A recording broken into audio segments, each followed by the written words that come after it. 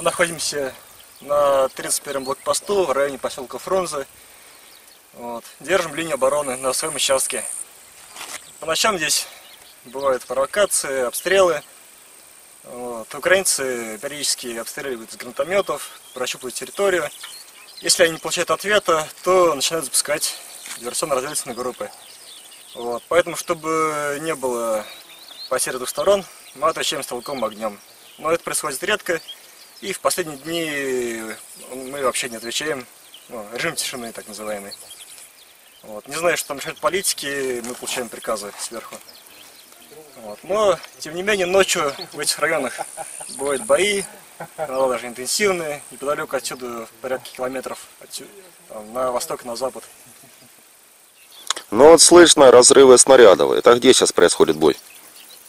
Ну, обычно правее и левее по линии фронта. С обоих сторон будут слышны взрывы. Это какие населенные пункты находятся? А, я не помню, я не, не- не знаю карты. Но здесь поселок Фрунзе и, собственно, на восток, на запад от него.